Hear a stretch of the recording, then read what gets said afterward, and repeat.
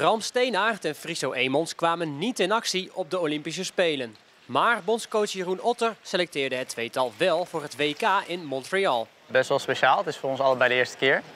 En uh, ik denk, nou ja, we zijn allebei, uh, ik spreek voor mezelf natuurlijk ook voor Bram, uh, ontzettend blij dat we deze kans hebben gekregen om uh, naar Montreal te gaan. Ik heb al best wel een tijdje geen echte wedstrijd meer gereden. Dus om dan nog een WK te mogen rijden aan het eind van zo'n seizoen vind ik eigenlijk alleen maar, alleen maar superleuk. Ja, want hoe is jouw jaar geweest? Nou, hele goede zomer.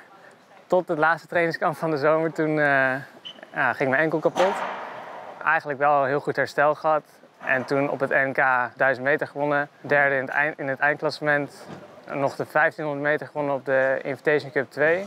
Toen werd ik aangewezen als reserve voor, uh, voor de Olympische Spelen. Dus ook nog een, gewoon een mooie ervaring om dat toch allemaal mee te maken. En dan nu als uh, nou, misschien beloning voor het harde werken aan mijn herstel ook nog, uh, ook nog een plek in het WK-team. Dus ja, uh, heel veel meegemaakt dit seizoen. Ik kan me voorstellen dat het natuurlijk geweldig is dat deze snuiters... ja, die hebben een, een, een, prachtige laatste twee jaar doorgemaakt. Friso heeft een aantal individuele wedstrijden geweldig gereden. Bram heeft een blessure gehad, is die van teruggekomen en is gretiger dan ooit. Ja, en dat die twee jongens dan aan zo'n team kunnen worden toegevoegd. Jens van het Woud, ja, dat is ook zo'n voorbeeld. Die had wel naar het oorspronkelijke WK kunnen gaan, maar nu, ja, die zit nog in zijn eindexamens. en ja, dan, we willen toch heel graag dat iemand ook een diploma haalt. Maar die moeten we dus missen. En daar wordt dus uh, vervanging voor gezocht. En ik ben heel blij dat we dat uh, hebben kunnen vinden in deze twee jongens. Steenaert en Emons kunnen het goed met elkaar vinden. In trainingen halen ze het beste bij elkaar naar boven. Ik vind Friso echt een van de beste trainingsmaatjes, omdat ik gewoon weet... Ah, dank je. Omdat ik gewoon weet dat Friso altijd gewoon echt een harde werker is. En hij geeft altijd gewoon volle 100%. Want ik train echt al, nou, ik weet niet hoe lang met Friso. En, nou, wel lang, ja.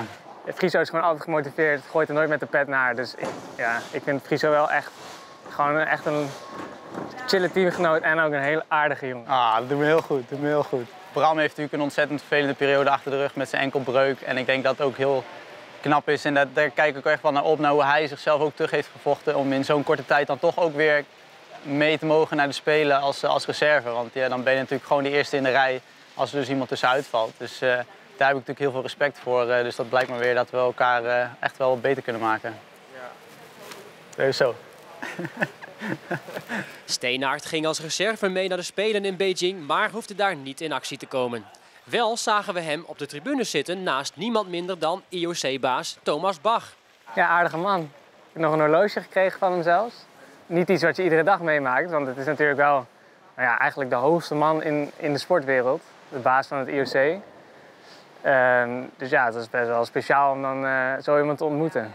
Op het WK in Montreal starten de beide mannen niet op de individuele nummers, maar rijden ze wel de relay. Wat verwacht je dan van die jongens?